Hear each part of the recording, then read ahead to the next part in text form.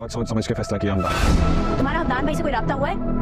तुम्हें कुछ अंदाज़ा भी है रजा? तुम क्या कह रहे हो? नाजरीन आज हम बात करेंगे सुकून ड्रामे की नेक्स्ट एपिसोड के बारे में। रजा अपनी तमाम गलतियों का अजाला करना चाहता है और वो हमदान के पास जाता है और उससे कहता है कि वो ऐना को छोड़ दे ताकि वो ऐना से शादी कर ले और अपनी सारी गलतियाँ सुधार ले। ये बात सुनते ही हमदान रजा से कहता है कि तुम होश में तो हो। रजा कहता है कि मैंने ऐना को बहुत दुख दिया है और मैं अपने किए का कफारा अदा करना चाहता हूँ। तुम उसे छोड़ दो। रजा जब अपने घर जाता है तो वो वहाँ शानजे को ये बताएगा कि हमदान ऐना को छोड़ने के लिए राज़ी हो जाएगा।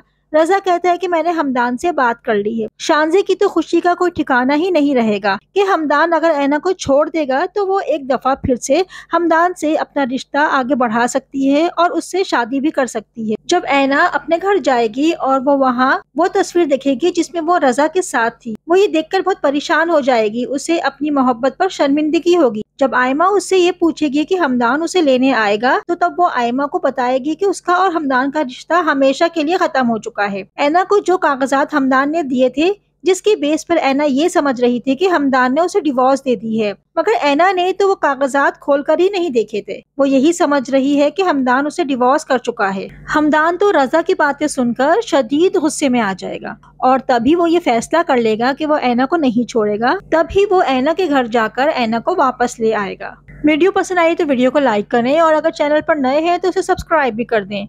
मिलते हैं नेक्स्ट वीडियो में। तब तक के लिए अल्लाह हाफिज़।